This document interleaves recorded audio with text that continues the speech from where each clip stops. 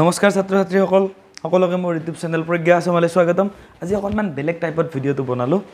তো আজি আমি ক্লাছ টেনৰ ছায়েন্সৰ কাৰ্বন পাঠটোৰ যিটো টপিক আৰম্ভ মানে আলোচনা কৰি আছোঁ সেয়া হ'ল কাৰ্বন কাৰ্বনৰ আমি আলোচনা কৰিছোঁ হাইড্ৰ'কাৰ্বন হাইড্ৰ'কাৰ্বনৰ বিষয়ে আলোচনা কৰিছোঁ।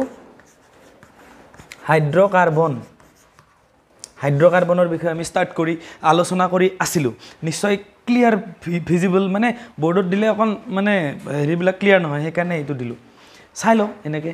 যদি এনেকৈ বেছি ভাল পোৱা তোমালোকে মোক জনাবা কেনেকৈ তোমালোকে তাৰমানে ভালদৰে দেখা পোৱা মই সেইটো ভাবি ভাবি পেলাই এনেকুৱা কৰিলোঁ এটা। তোমালোকে মোক কমেণ্টত জনাবা যে এনেকৈ ভাল লাগে নে সেনেকৈ ডাইৰেক্ট বৰ্ডত ভাল লাগে। তো জনালে হ'ল আজি এনেকৈ ট্ৰাই কৰোঁ। আমাৰ তিনিটা পাৰ্ট আছিল হাইড্ৰ'কাৰ্বনৰ এটা আছিলে কি? এলকেন এলকেন আছিলে?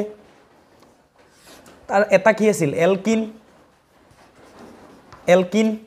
আৰু এটা আছিল এলকাইন। এলকাইন।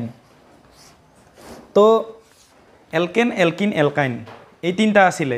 আমি আজি এলকেনৰ তোমালোকক মই আগতেতো কৈছোঁৱেই যে এলকেনবিলাকক নাম কেনেকৈ দিয়ে এলকিনবিলাকক কেনেকৈ নাম দিয়ে এলকাইনবিলাকক কেনেকৈ নাম নামাকৰণ কৰে সেইবিলাকৰ বিষয়ে তোমালোকক মই কৈছোঁৱেই।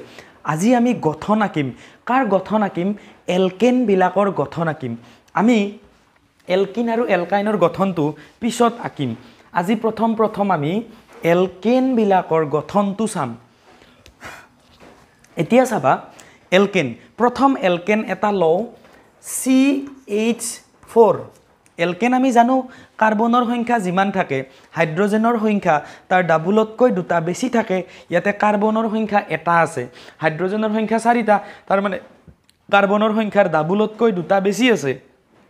নিশ্চয় বুজিলা? এতিয়া কথাটো হ'ল ইয়াৰ গঠনটো কেনেকুৱা হ'ব? ই যৌগটোৰ আমি নামটো জানিলোঁ সংকেত জানিলোঁ ই দেখাতনো কেনেকুৱা সেই বিষয়ে আলোচনা কৰোঁ। এতিয়া চোৱা এইটো জনাৰ কাৰণে তোমালোকে কাৰ্বনৰ ইলেক্ট্ৰনীয় বিন্যাস জানিব লাগিব।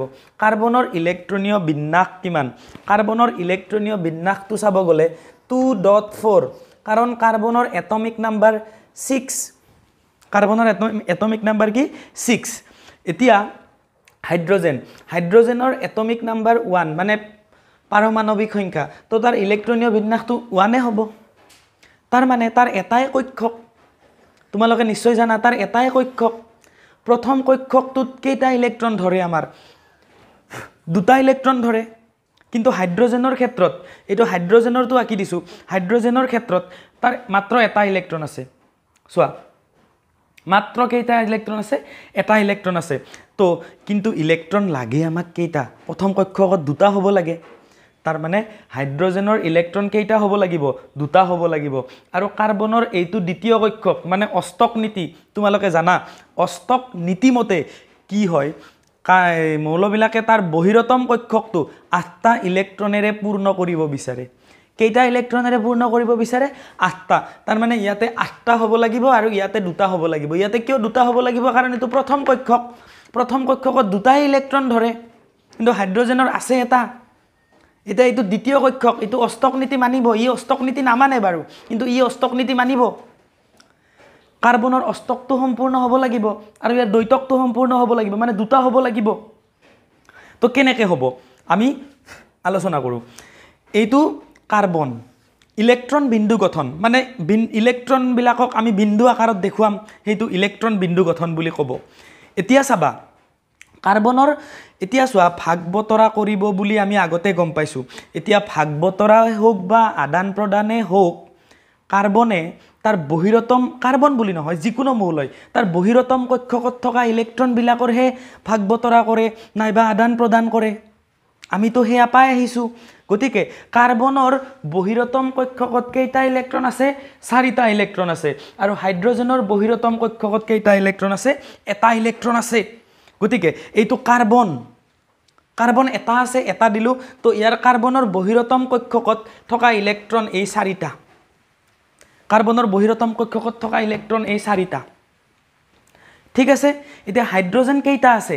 হাইড্ৰজেন আছে চাৰিটা।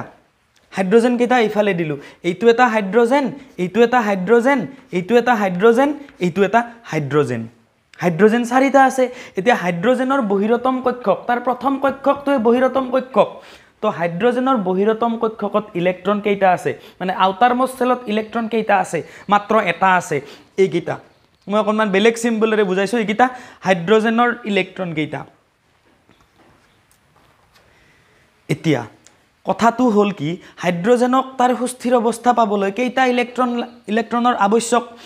দুটা হ'ব লাগে এটাতো তাৰ নিজা আছে। গতিকে হাইড্ৰজেনে যদি এইটো কাৰ্বনৰ এটা ইলেক্ট্ৰনৰ সৈতে ভাগ বতৰা কৰি লয় যে দৰকাৰ হ'লে তোমাৰ ইলেক্ট্ৰনটো মই ব্যৱহাৰ কৰিম তো ভাগ বতৰা কৰি ল'লে হাইড্ৰজেনে কি পালে? সুস্থিৰ অৱস্থা পাই গ'ল নে নাই চোৱা? হাইড্ৰজেনে এইটোৰ লগত ভাগ বতৰা কৰি ল'লে। হাইড্ৰজেনে এইটো হাইড্ৰজেনে কি পালে? সুস্থিৰ অৱস্থা পালে। তাৰপিছত এইটো হাইড্ৰজেনৰ ক্ষেত্ৰত। কাৰ্বনৰ এইটো ইলেক্ট্ৰনৰ লগত ভাগ বতৰা কৰিলে এইটো হাইড্ৰজেনেও সুস্থিৰ অৱস্থা পালে। কাৰণ হাইড্ৰজেনে সুস্থিৰ অৱস্থা পাবলৈ তাৰ বহিৰতম কক্ষকটোত দুটা হ'ব লাগে।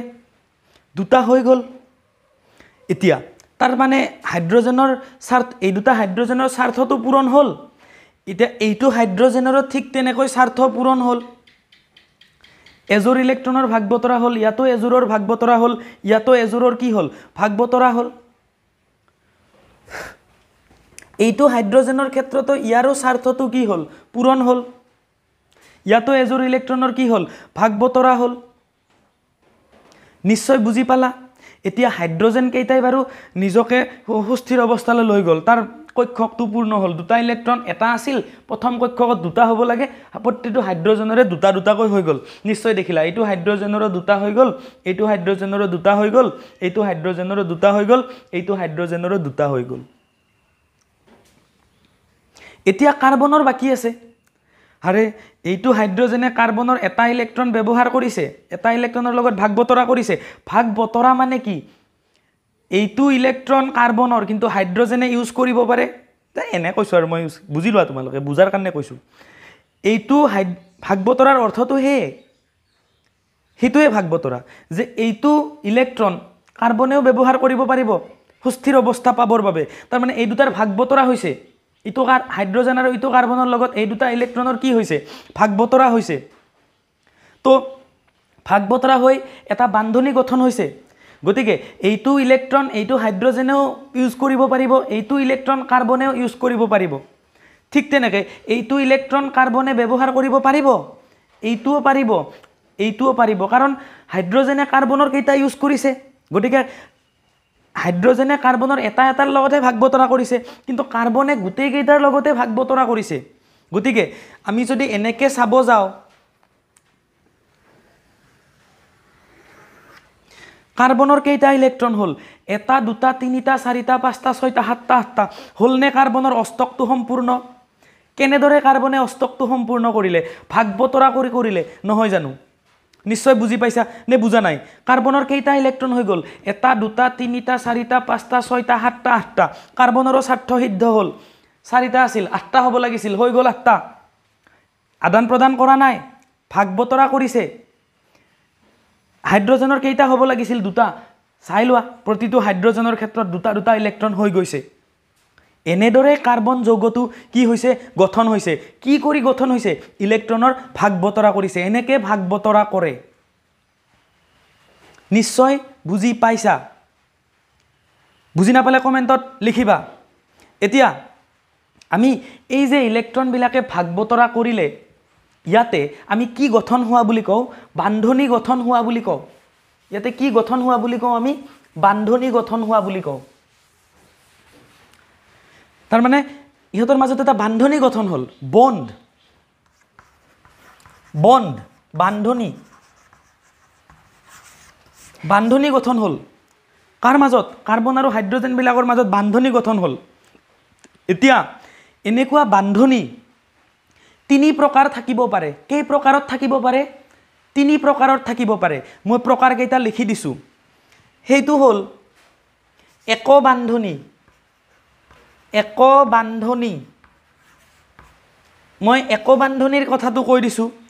তোমালোকে ভিডিঅ'বিলাক ভিডিঅ'টো পজ কৰি বস্তুবিলাক লিখি ল'বও পাৰা। এক বান্ধনি। এক বান্ধনি মানে এযোৰ ইলেক্ট্ৰনৰ ভাগ বতৰা। এযোৰ ইলেক্ট্ৰনৰ ভাগ বতৰা। এযোৰ ইলেক্ট্ৰনৰ কি? ভাগ বতৰা। এযোৰ ইলেক্ট্ৰনৰ ভাগ বতৰা হ'লে তাত বান্ধনীটো একবান্ধনী হয়। তাৰপিছত দ্বি বান্ধনী ত্ৰিবান্ধনী আছে সেইটো মই যেতিয়া দৰকাৰ হ'ব তেতিয়া ক'ম। এতিয়া আমি এলকেন পঢ়ি আছোঁ নহয় এলকেনবিলাকত কেৱল একবান্ধনীহে দৰকাৰ হ'ব। একবান্ধনী ইংৰাজীত কয় ছিংগল বণ্ড। Single bond. নিশ্চয় বুজি পাইছা? তাৰমানে এলকেনবিলাকত সদায় একবান্ধনী ব্যৱহাৰ হ'ব। একবান্ধনী কি বস্তু? একবান্ধনী মানে এযোৰ ইলেক্ট্ৰনৰ য'ত ভাগ বতৰা হ'ব। Sharing of one pair of electron মানে এযোৰ ইলেক্ট্ৰনৰ ভাগ বতৰা য'ত হ'ব তাক একবান্ধনী বুলি কোৱা হ'ব। সেই বান্ধনীটোক মানে ইহঁতৰ মাজত এটা বন ফৰ্ম হ'ল। বনটো কিহৰ দ্বাৰা হ'ল? ইলেক্ট্ৰনৰ ভাগ বতৰাৰ দ্বাৰা হ'ল। এইফালে কেইযোৰ ইলেক্ট্ৰনৰ ভাগ বতৰা হ'ল? এযোৰ ইলেক্ট্ৰনৰ ভাগ বতৰা হ'ল। ইয়াৰ এটা ইয়াৰ এটা। দুটা লগ লাগিতো এযোৰ হয়। এইফালে এযোৰ ইলেক্ট্ৰনৰ ভাগ বতৰা হৈছে। এইফালে এযোৰ ইলেক্ট্ৰনৰ ভাগ বতৰা হৈছে। এইফালে এযোৰ ইলেক্ট্ৰনৰ ভাগ বতৰা হৈছে। গতিকে এই যৌগটোক আমি বান্ধনীকেইডাল দেখুৱাই যদি আকো কেনেকুৱা হ'ব? চাই থাকা। এই যৌগটোক আমি বান্ধনীকেইডাল দেখুৱাই আঁকিলে কেনেকুৱা হ'ব? চাই থাকা। আমি ইলেক্ট্ৰনবিলাক কেনেকৈ ভাগ বতৰা কৰিছে সেইটো দেখালোঁ। কিন্তু ইলেক্ট্ৰনৰ ভাগ বতৰাৰ দ্বাৰা কি সৃষ্টি হৈছে? বান্ধনী। বান্ধনী তিনি প্ৰকাৰৰ আছে। একবান্ধনী দ্বিবান্ধনী ত্ৰিবান্ধনী এলকেনৰ যিহেতু গঠন পঢ়ি আছোঁ তোমালোকে মনত ৰাখিবা অকল একবান্ধনী লাগিব। একবান্ধনী মানে কি? এযোৰ ইলেক্ট্ৰনৰ ভাগ বতৰা। মই বাৰে বাৰে কৈ আছোঁ তোমালোকক কাৰ্বনে ইলেক্ট্ৰনৰ ভাগ বতৰা কৰিব ভাগ বতৰা কৰিব কৰিলে নে নাই? কৰিলে ইয়াতে এযোৰৰ কৰিলে সেই বান্ধনীটোক কোৱা হ'ব একবান্ধনী এইবিলাক সহযোজী বান্ধনী কোভেলেণ্ট বণ্ড। ইয়াৰ বিষয়ে আৰু কম তোমালোকক ডিটেইলছ এই কাৰ্বনৰ গঠনটো ইলেক্ট্ৰন বিন্দু গঠনটো বুজি পাইছা নিশ্চয়? ইলেক্ট্ৰনবিলাকৰ কেনেকৈ ভাগ বতৰা হৈছে? এতিয়া যদি আমি বান্ধনী কেইডাল দেখুৱাই পেলাই গঠনটো আঁকিব যাওঁ কেনেকুৱা হ'ব? এনেকুৱা হ'ব এইটো কাৰ্বন এইটো এটা হাইড্ৰজেন এইটো হাইড্ৰজেন এইটো হাইড্ৰজেন এইটো হাইড্ৰজেন। তো ইয়াতে চোৱা ইয়াতে এযোৰ ইলেক্ট্ৰনৰ ভাগ বতৰা হৈছে। এযোৰ ইলেক্ট্ৰনৰ ভাগ বতৰা হ'লে কি বান্ধনী?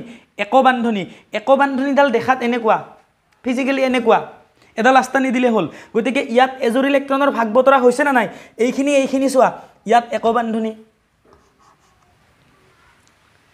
ইয়াত এই দুটাৰ মাজত ইটো কাৰ্বন আৰু এই হাইড্ৰজেনৰ মাজত এযোৰ ইলেক্ট্ৰনৰ ভাগ বতৰা হৈছে নে নাই? তো এযোৰ ইলেক্ট্ৰনৰ ভাগ বতৰা মানে একবান্ধনী একবান্ধনীডাল এনেকুৱা। ইয়াতে এডাল একবান্ধনী এইডাল একবান্ধনী ছিংগল বণ্ড মানে সেইডালৰ অৰ্থ কি? এযোৰ ইলেক্ট্ৰনৰ ভাগ বতৰা নিশ্চয় বুজি পাইছা? ইয়াতো কি হৈছে? এযোৰ ইলেক্ট্ৰনৰ ভাগ বতৰা হৈছে নাই চোৱা? তো ইয়াত বান্ধনী দেখুৱালে এনেকুৱা এইডাল একবান্ধনী ইয়াতো এযোৰ ইলেক্ট্ৰনৰ ভাগ বতৰা হৈছে ইয়াতো একবান্ধনী নিশ্চয় বুজি পাইছা? তো আজিলৈ ইমানে? ভিডিঅ'টো বহুত দীঘলীয়া হৈ যাব। অহাকালি আৰু মই আজি কা কাৰ গঠন আঁকিলোঁ? মিথেন। অহাকালি ethane propane butane pentane hexane heptane octane এই গোটেইবিলাকৰ মই গঠনবিলাক ইলেক্ট্ৰন বিন্দু গঠনবিলাক কেনেকুৱা হয় সেইবিলাক দেখুৱাম। কিতাপত তোমালোকে এনেকুৱা বস্তু পাবা চাই ল'বা সেইবিলাক তেতিয়াহে বুজি পাবা এই বস্তুবিলাকৰ বান্ধনি হেৰিবিলাক মানে ইলেক্ট্ৰনবিলাক কেনেকৈ ভাগ বতৰা হয় সেইবিলাক বুজি পালে। নিশ্চয় কথাখিনি বুজি পাইছা? তো পুনৰ এটা ভিডিঅ'ৰ সৈতে লগ পোৱাৰ প্ৰতিশ্ৰুতিৰে আজিলৈ নমস্কাৰ।